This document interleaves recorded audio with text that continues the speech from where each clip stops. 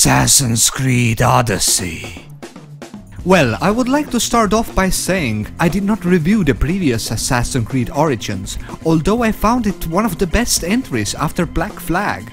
To be honest, Black Flag was still one of my favorite Assassin's Creed games. It even compared well with Origins, which was actually the first step that deviated well away from the franchise main core elements, which were stealth, follow and assassinate. Many loved it, many hated it. Origins was quite a long game and by the time I finished my Platinum Trophy I had about 120 hours of gameplay footage and I did not know where to start if I wanted to review it. By that time newer games were out and I continued on with those, so I skipped the review completely and I'm sorry about that. In this video I will try to compare them and review them both still keeping the main focus on Odyssey. So now, the year 2018, along came Assassin's Creed Odyssey. The release I was not at all waiting to be honest.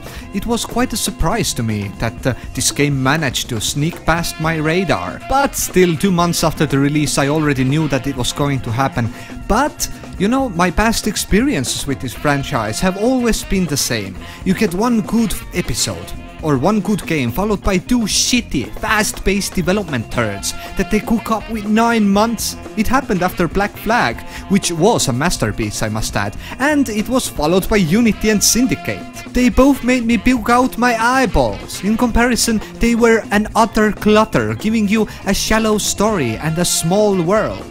So after that we got Origins, which was in development over 4 years and yet though of course it was going to be good. And it was! Gloriously large map, fantastic, historically correct architecture and the cultural conversion that this game convincingly persuaded was out of this world. It was phenomenal, accompanied by rich cities, vast deserts and beautiful landscapes. This game gave me a boner each time I started to play. It introduced more RPG elements and weapon systems and overall skill trees. Oh, my heaven god. You had a bond with your owl and the main protagonist was memorable. Quests were done with love. And you, you know always you could emphasize with the characters. And as mentioned the map was beyond big and discovering it took a while. Trust me, it took a while. Bad parts were, you know, pointless DLCs and somewhat half-baked effort to lure gamers back with weird Anubis battles. Please, please give me all the content at once and don't add your stupid DLCs with some, you know, shit. Give me DLCs that uh, extend your map or something. Thank you very much. But overall, this game was fantastic. Naturally, I figured that the next entry would make me puke again, so I dismissed it immediately. After all, Red Dead is what I'm aiming for. But I still bought a copy for myself, a standard edition of Assassin's Creed Odyssey. Yeah, a lot of those editions out there. Uh, so I stuck this game into my console, and wow! I'm, I'm blown away. Whatever Origins had, Odyssey has upgraded, polished, added upon, and even amped up several levels. You now have full-blown RPG that is blended with Witcher 3, Shadow of War, and, you know, best parts of Assassin's Creed. Why and how these games, I will come to it in a minute. You can choose your main protagonist, I always choose a female character in a game and uh, in real life as well. And the story begins! I will not go into detail with the story, but let me tell you that this is one of the best ones in the franchise. All the cutscenes are interesting and you will never want to skip them. You will start caring about what happens and your decisions have actual consequences. You can now choose your path in the story by choosing your answers in the dialogue window or just acting upon choices given. I love that this game doesn't take itself too seriously and it actually has very funny moments and quests in it or just silly quotes that you will remember even after your story is complete. Many decisions will come to haunt you as the story progresses, and it's totally, it's, it's absolutely fantastic. A game with consequences is my cup of tea. Graphically, this game is pristine. It's beautiful to look and explore. Map is large and full of shit to do, it really is. By the way, this game encourages you to play with HUD off and with no map markers. I mean, it makes sense, but you're completely blind to, to where everything is and where to go and where your quests are. but this will enhance your immersion most certainly. But map this size, I, I wouldn't torture myself, never ever with, with that. Many say that this game is more of an asset flip, since it uses a lot of textures and houses like in Origins. Well, so fucking what? It's a wooden door. It should be a wooden door. Why the fuck should we make a new one? Tree is a tree as a grass is a grass. Houses match in this time period and in this culture perfectly. Actions take place between 431 to 404 BC and it's the furthest that the Assassin's Creed franchise has ever been. And you know what? I, I love it. Loading screen also has changed as you can no longer run uh, around like an idiot as the game is loading. And it kinda makes sense because you need to relax for a second after someone has kicked your ass and killed you. And by the way, it happens a lot! This brings me to the fighting mechanism. Well, it has been definitely approved. Uh, no more those stupid lock-ons, although it's optional.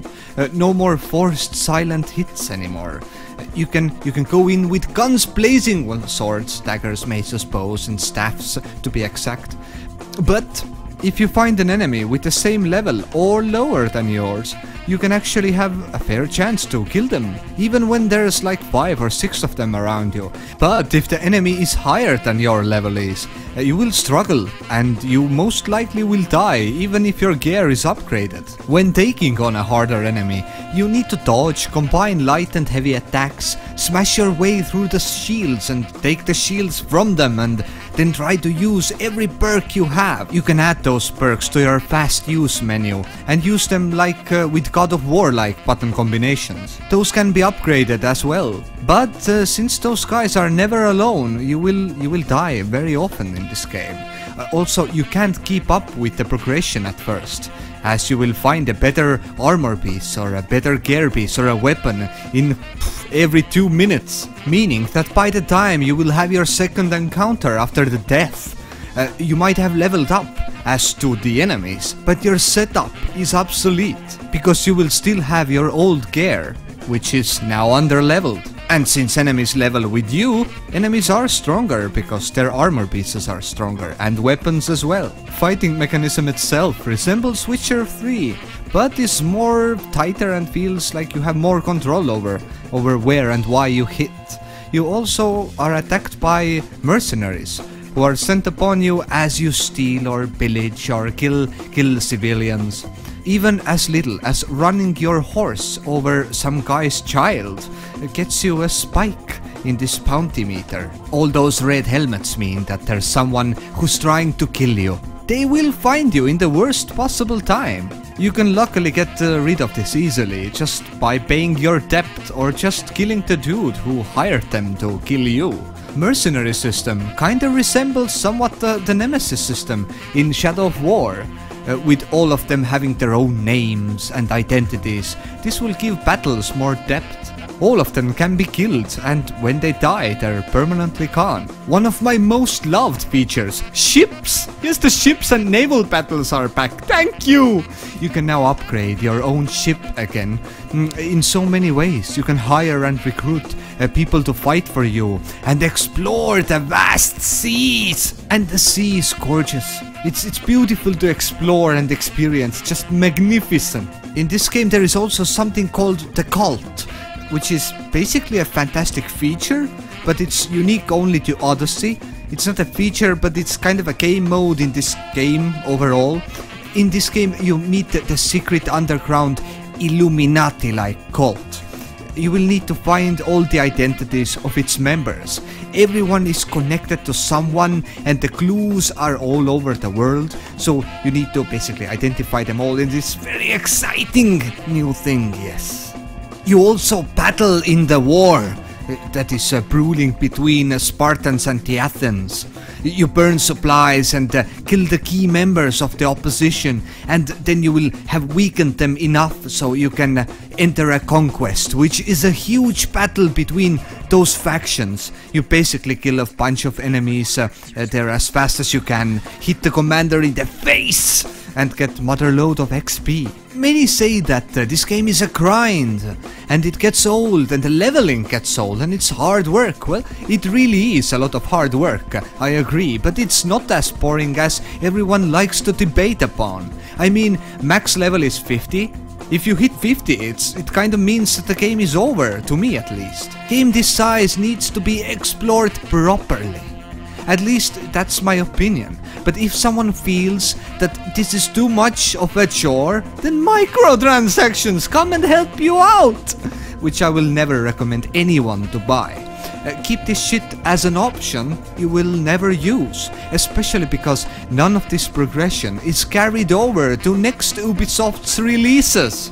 Basically, you buy $10 worth of a shortcut to end your game and your fun faster. What is the point of this? But this game isn't just rainbows and sunshine, it has downsides as well. First of all, you must press triangle if you want to pick something up, or do something or assassinate someone. So you see where I'm going. If you want to pick up a treasure and uh, uh, an unlucky person decides to uh, lie next to it, you will assassinate him or her. So you know it's that's kind that kind of sucks because you gain bounty that way if you accidentally assassinate someone or some dude sleeping next to the desired item. So I'm not saying that killing in this game is bad, but this action has been a catalyst to many ruined quests as I accidentally hit a Spartan while trying to kill a wolf next to him and then the whole military camp gets angry and attacks me. So you know, ugh, then the quest glitches and... Eh.